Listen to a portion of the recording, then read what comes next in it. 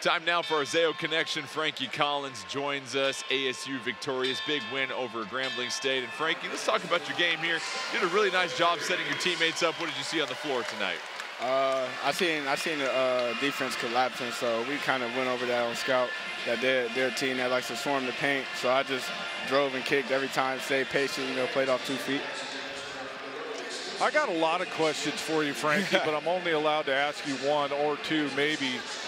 What's your approach to the game? You're new to the system. You're new to all these players. You come out of the gates, you have 24 field goal attempts in the first game, but that's not who you are.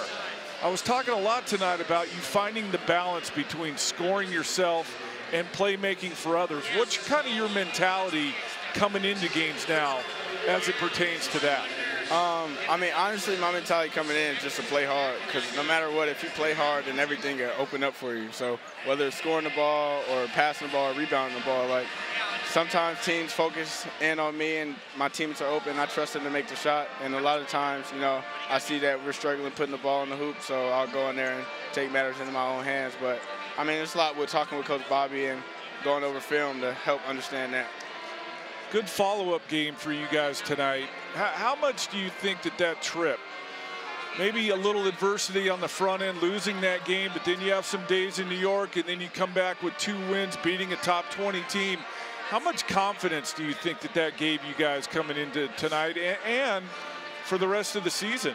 Uh, I think it gave us a lot of confidence because, you know, you beat a team like that, you know, in Brooklyn, a team like Michigan, a team like VCU, two great programs – and for us to go out there and win those games after a loss is huge because now you see guys made shots and you know guys who haven't made shots all season finally made some shots and now it's carrying over. So it's a, we gave us a lot of confidence and it's going to uh, keep going. Moving forward. all right, forward. Frankie, thanks again. Appreciate you joining us. Nicely thanks, done Frankie. tonight. Enjoy yes, the victory, all right? Thank you. Thank you.